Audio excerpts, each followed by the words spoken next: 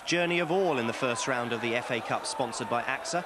They're 50 places below Yeovil in the pyramid, but they took a ninth minute lead through Jonathan Milroy. Before half-time, the 1911 World Cup winners from the Northeast went 2-0 up with a header from Paul Adamson.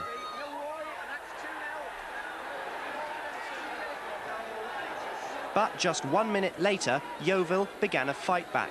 The conference side made it 2-1 when Warren Patmore scored with a glancing header. West Auckland held the lead until injury time, but they couldn't stop Yeovil's substitute Ben Smith forcing a replay.